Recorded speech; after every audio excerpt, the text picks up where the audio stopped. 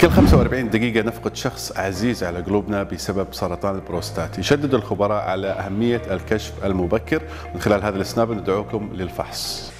الأكيد أنه صحتك بتهمك لأنه الصحة هي الكنز الأول والأغلى. والأكيد أنه في كتير ناس ما بتروح تفحص دوريا إلا بعد اكتشاف الأمراض. بادر من هلأ واكشف عن سرطان البروستات لأنه صحتك كمان بتهمنا. قرابة 30% من أعراض سرطان البروستات يلاحظها الرجال.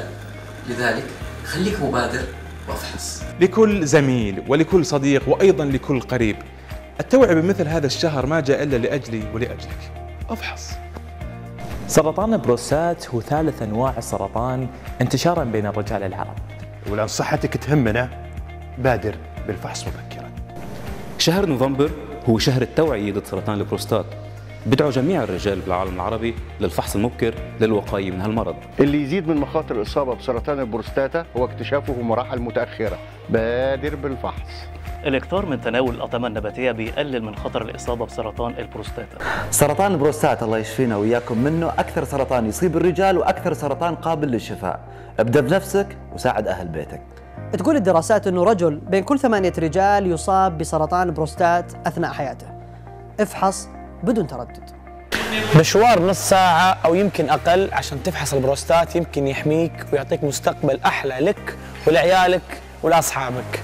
مش بس كرمالكم كرمال كل اللي بتحبون أهلكم وأصحابكم. شهر نوفمبر هو شهر التوعية الجسدية والعقلية عند الرجال. استشيروا طبيبكم. صحة الإنسان هي أهم investment عملها بحياته. مش بس لشهر نوفمبر لازم نعمل check up كل أيام السنة لازم نتابع حالنا ونعرف حالنا إنه ما في عنا أي مكروه شهر نوفمبر هو شهر التوعية للصحة البدنية والصحة العقلية للرجال. أنصحكم راجعوا طبيبكم اعملوا check كامل عليكم للاحتياط وبعيد الشر عن الجميع إلى جميع الأبناء انصحوا آبائكم لزيارة الطبيب للكشف عن البروستات وذلك للوقاية من سرطان البروستات. ونتمنى السلامة للجميع. اقرأ نشرات الأطباء وابتعد عن العادات الصحية التي قد تتسبب بالإصابة بسرطان البروستات. يقول الأطباء أن النوم الجيد يحمي الرجال من الإصابة بسرطان البروستات بنسبة 75%